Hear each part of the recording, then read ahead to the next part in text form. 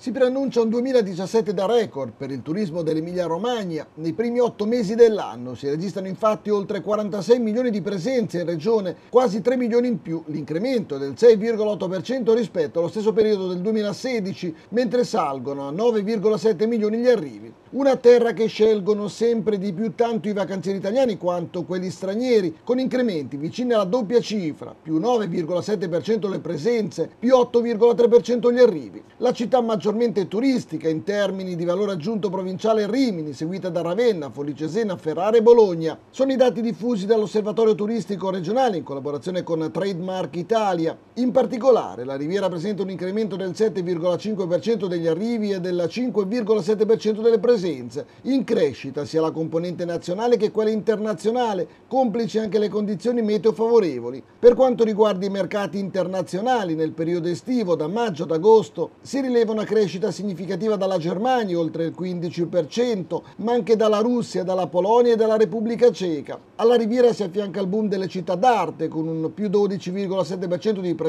e un più 8% di arrivi, e l'impennata dell'Appennino, più 10,5% le presenze, più 8,7% gli arrivi. Un settore, quello turistico, nel quale ogni 100 euro di valore aggiunto diretto se ne aggiungono altri 84 da attività indirette, che conta 220.000 addetti e 50 45.000 imprese, il 13,5% del totale. Il turismo si conferma ancora una volta un settore strategico dell'Emilia-Romagna, commenta l'assessore regionale Andrea Corsini, fondamentale per la crescita economica e per il raggiungimento della piena occupazione. Continuiamo a lavorare per far crescere ulteriormente il settore anche nelle aree storicamente meno vocate che oggi possono essere decisive per aumentare l'attrattività regionale perché ricche di eccellenza, di destinazioni e di prodotti con un forte profilo internazionale.